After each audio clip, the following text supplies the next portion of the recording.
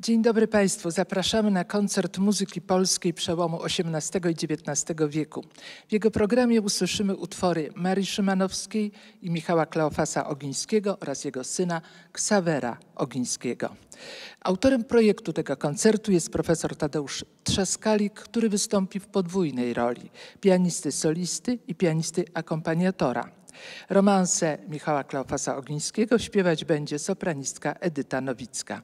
Ja nazywam się Grażyna Brewińska. Koncert nosi tytuł Piękna Pani moich marzeń. Jest to cytat z jednego z romansów Michała Kleofasa Ogińskiego, a można go rozumieć co najmniej dwojako, bo jest to zwrot w kierunku jakiejś kobiety, ale także może być to odniesienie do muzyki, która w przypadku nie tylko tej dwójki kompozytorów stanowiła nie tylko pasję, ale i sens życia.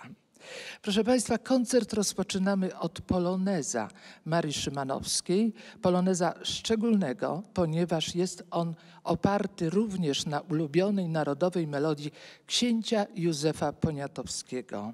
Tego księcia, generała polskiego, który powiedział, Bóg powierzył mi honor Polaków, Bogu go tylko oddam.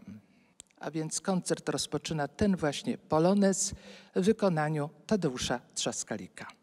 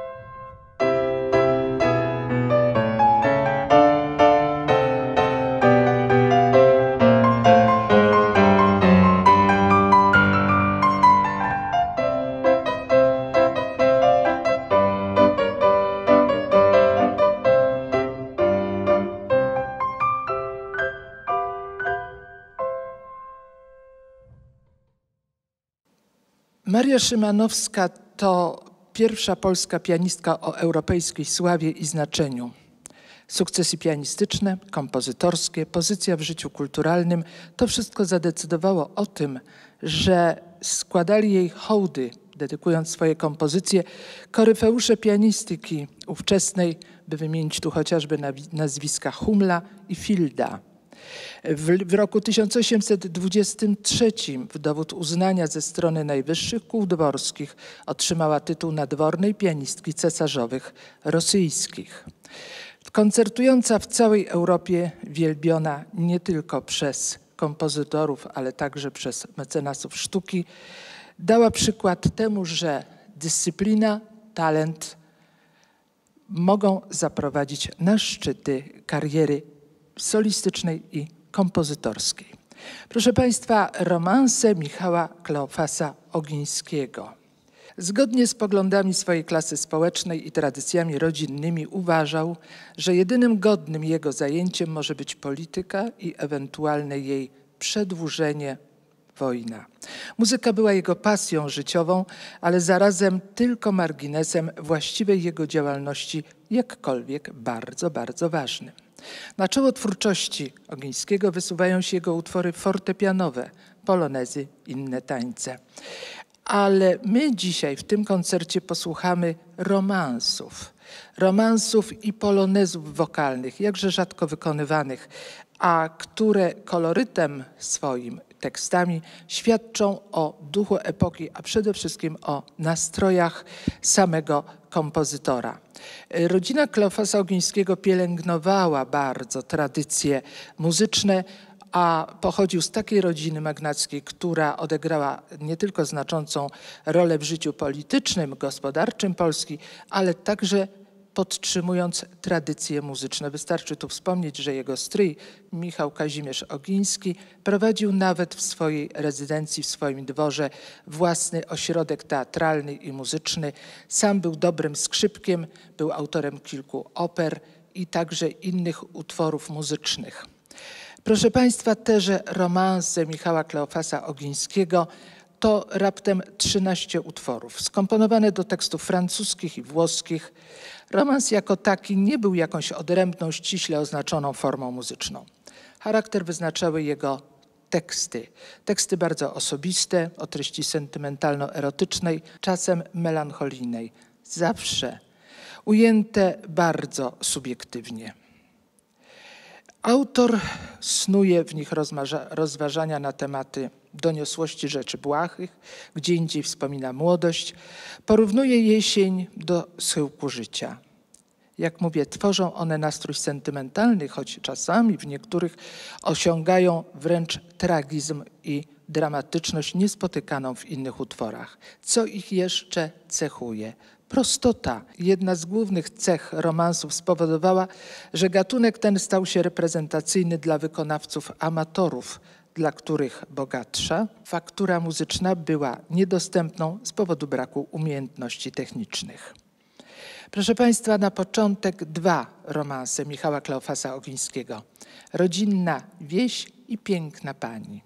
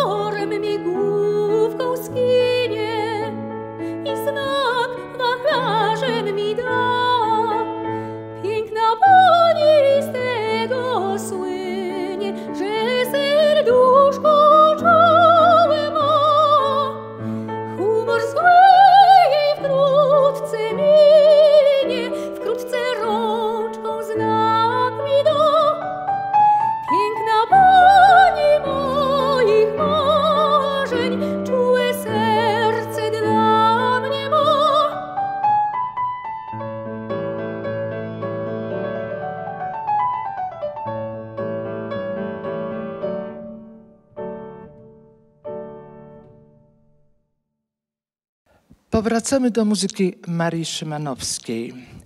Y, Maria Zwołockich-Szymanowska zaryzykowała w swoim życiu wszystko. Pozycję społeczną, a także swój dostatek finansowy. Wiemy, że małżonek w pewnym momencie nie wytrzymał kariery swojej żony i po prostu musieli się rozstać. Rozstali się za obopólną zgodą, a Maria Szymanowska wzięła na utrzymanie swoje trzy córki i koncertując po całej Europie, komponując utwory, a także zajmując się pracą pedagogiczną, utrzymywała dom. Prowadziła dom otwarty, w których bywali najwięksi tego świata.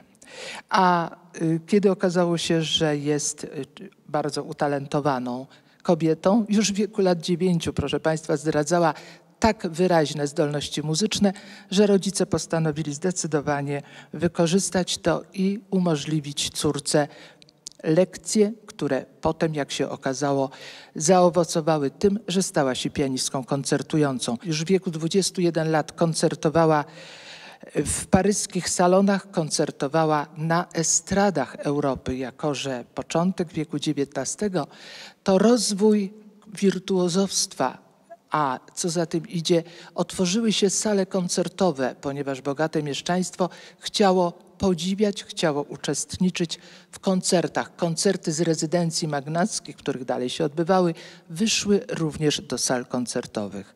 Jak powiedziałem, w wieku 21 lat już zaczęła Maria Szymanowska swoją wybitną karierę solistyczną, koncertową, a zaraz potem, trzy lata później, to powitał ją Wiedeń, oklaskiwał bardzo gorąco, potem Londyn, potem Berlin, Petersburg, Moskwa.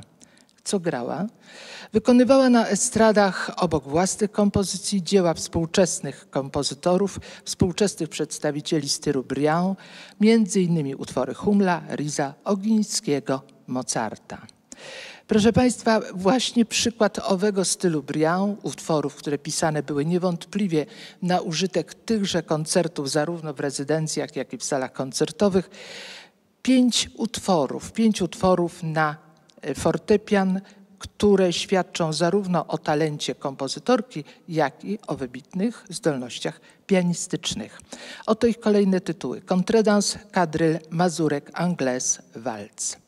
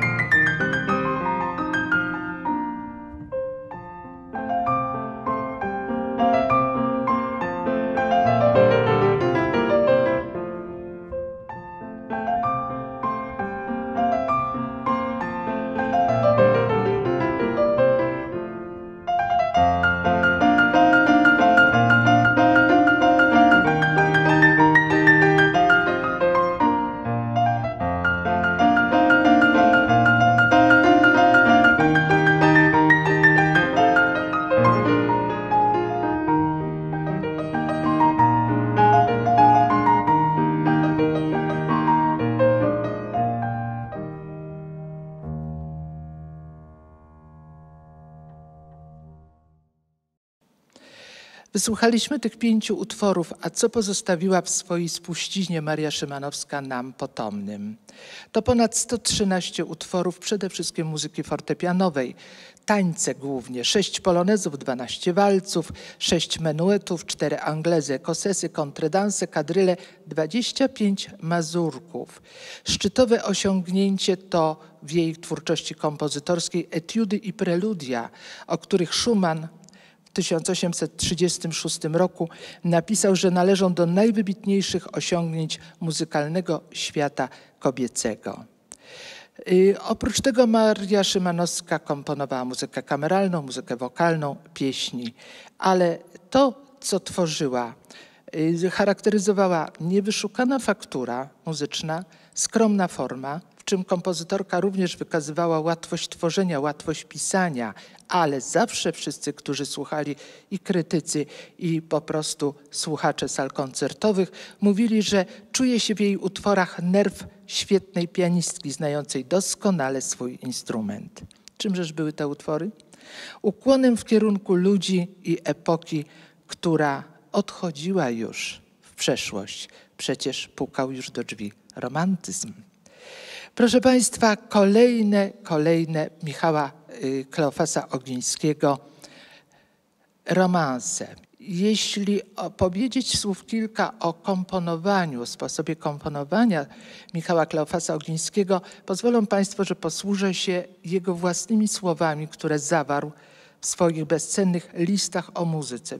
A co mówił o swoim komponowaniu? W tychże listach, w liście pierwszym, datowanym na rok 1828 z Florencji, pisze tak: Monsieur, pochlebia mi bardzo mniemanie Pana o moim muzycznym talencie, tej bowiem przychylnej opinii, jaką Pan sobie utworzyłeś, zawdzięczam Twój łaskawy list, który właśnie otrzymałem wraz z zaproszeniem, bym Panu komunikował swe obserwacje o muzyce w ogólności, jak i o główniejszych kompozytorach i artystach znanych mi i słyszanych przeze mnie. Sumienie jednak nakazuje mi, bym na wstępie wyprowadził Pana z błędnego przekonania, jakie masz o moim talencie muzycznym. Wszystko bowiem, co mam, to dobre ucho, głębokie poczucie harmonii i smak, który sobie ukształtowałem, słuchając i uprawiając często dobrą muzykę. Jeśli kilkakrotnie zdarzyło mi się skomponować jakieś drobiazgi, które amatorzy muzyki, a nawet i artyści najznakomici zaszczycili swoimi pochwałami, jeśli wzruszyło się nimi parokrotnie serce czułe o wibracjach zgodnych z drganiami mojego serca, jeśli wreszcie człowiek miotany gwałtownymi namiętnościami odnajdywał spokój i uciszenie, wykonując jeden z moich polonezów, czy też śpiewając mój romans, nie mogę tego przypisywać ani znaczniejszym uzdolnieniom, jakich nigdy nie miałem, ani też głębszej znajomości muzyki. No nie znaczy to, bym zaniedbywał reguły kompozycji. I jeszcze jeden cytat o samym sobie.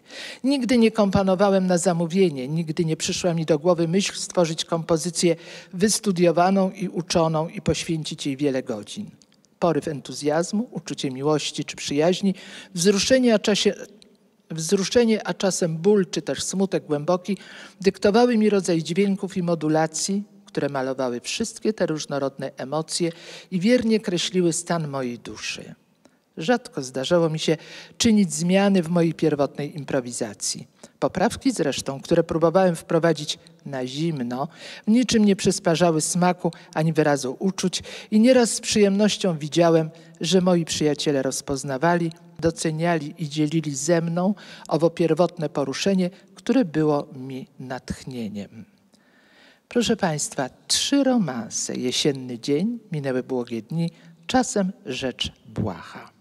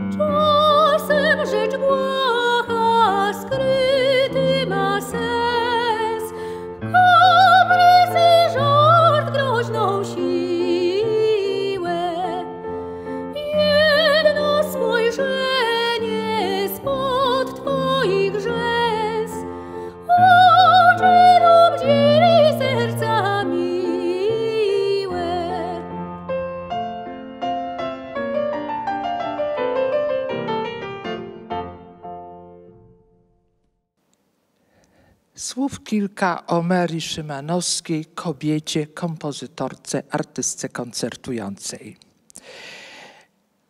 Maria Szymanowska jest na swoim instrumencie mistrzynią w pełnym tego słowa znaczeniu. Grę jej cechuje wyjątkowa biegłość techniczna, jak też wybitna muzykalność. To recenzja z Lipska z roku 1824. Łudzące naśladowanie śpiewu ludzkiego posunęła pani Szymanowska w adagio do najwyższego stopnia. Ona sama o sobie. Mówią, że ja nie gram, ale deklamuję.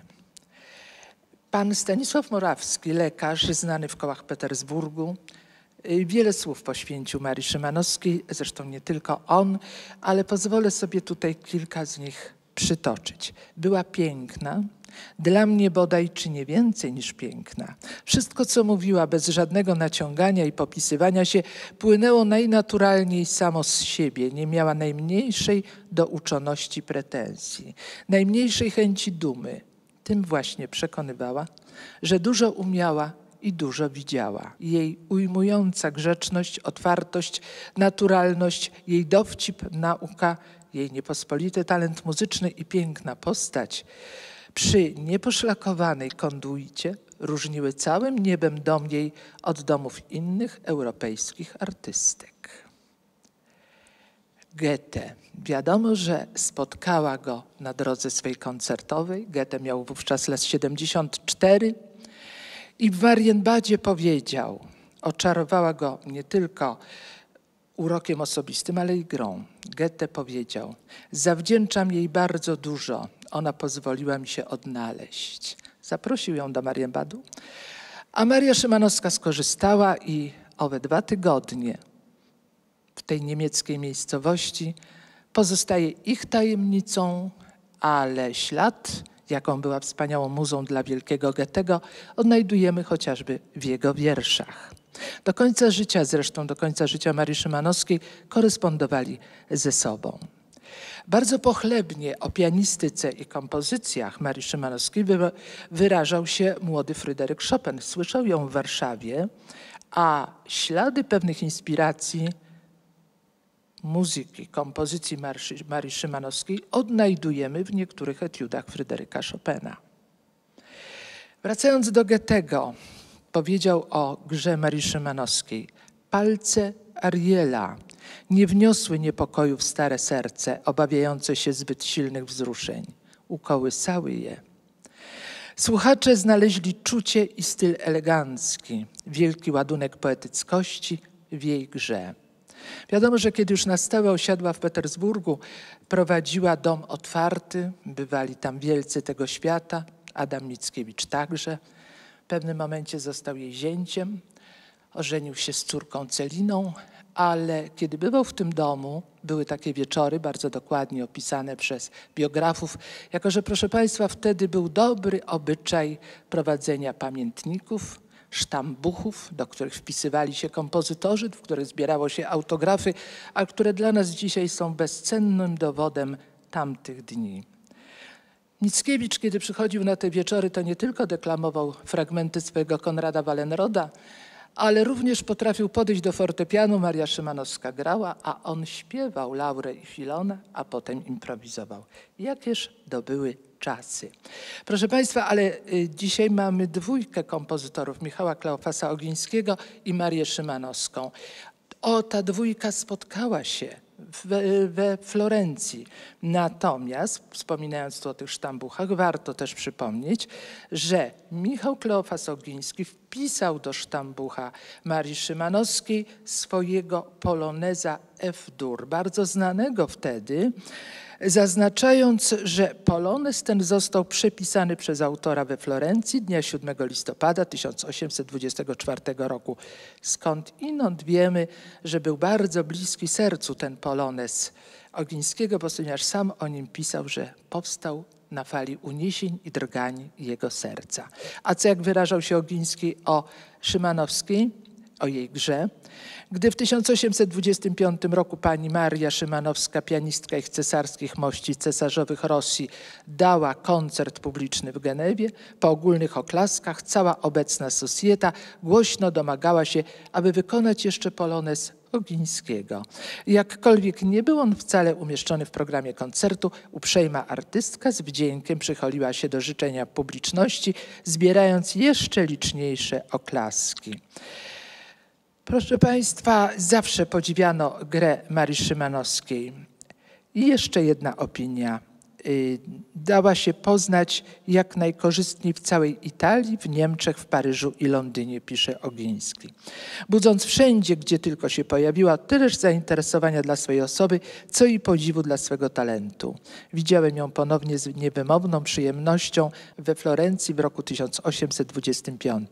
Wiele lat temu w Warszawie słyszałem ją grającą na fortepianie z doskonałością, która już wówczas zdawała się dawała jej jedno z pierwszych miejsc wśród najwybitniejszych artystów. Zobaczywszy ją znowu we Florencji, znalazłem, że ciągła uprawa jej talentu oraz wojarze niezmiernie wydoskonaliły jej sposób grania, który zdaje się nie pozostawiać nic do życzenia, nawet ze strony najsurowszych krytyków. Ale jeśli zawsze należałem do najgorliwszych wielbicieli jej talentów muzycznych, w owym czasie jeszcze większym entuzjazmem przejął mnie użytek, jaki czyniła ona z tych talentów.